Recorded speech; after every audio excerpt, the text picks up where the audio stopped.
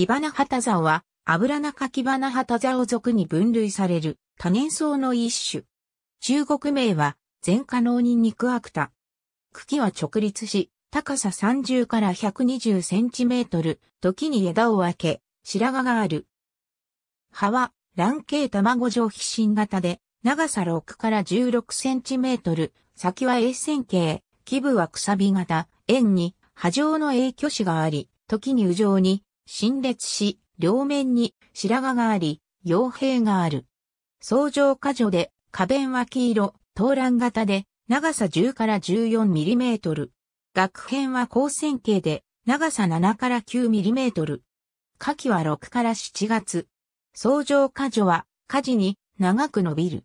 果実は聴覚化で開け出し、線形で円柱状、先は尖り、長さ8から14センチメートル、幅1.5ミリメートル。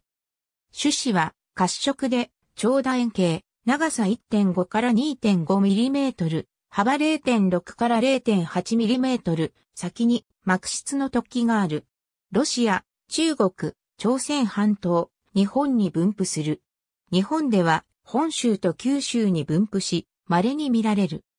キバナハタザオ属は90種ほどが知られているが、日本に自生する種は本種のみで、気化植物としては、柿根ガラシ、犬柿根ガラシなどかなりある。産地の草地に生育し、石灰岩地を好む。日本では以下の都道府県でレッドリストの指定を受けている。秋田県では県立自然公園の指定植物の対象種である。ありがとうございます。